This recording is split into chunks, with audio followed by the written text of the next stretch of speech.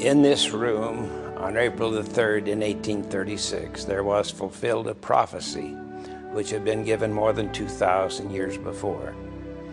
The closing words of the Old Testament, given by the prophet Malachi, prophesy that, Behold, I will send you Elijah the prophet before the coming of the great and dreadful day of the Lord, and he shall turn the hearts of the fathers to the children, and the hearts of the children to the fathers, lest I come and smite the earth with a curse. And when the angel Moroni appeared to the prophet Joseph Smith, he quoted many scriptures.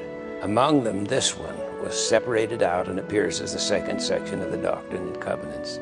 Then on that day, in 1836, Joseph Smith and Oliver Cowdery in this room had knelt in solemn and silent prayer, and after rising from prayer, he said, The veil was taken from our minds, and the eyes of our understanding were opened, and we saw the Lord standing upon the breastwork of the pulpit. The Lord spoke to them, and then Moses appeared and committed to them the keys of the gathering of Israel.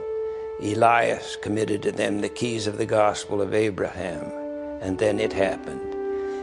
Elijah the prophet came, giving that same statement the turning of the hearts of the fathers to the children, and the hearts of the children to the fathers. And he said, By this you may know that the great and dreadful day of the Lord is at the gates. Now, in our day, the marvelous work is moving forward. The family history work, the temple work, in which families are being united for all eternity. And in a world that's degrading itself with the dissolution of families, this work goes forward across the world. It is a supernal work.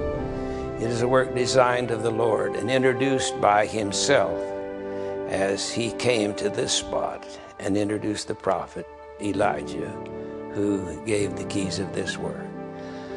I bear testimony that Jesus is the Christ. This is a supernal work. The mind of man could not have conceived it. It is true. Jesus is the Christ. He lives. He directs and leads this church. Of this I bear solemn testimony in the name of Jesus Christ. Amen.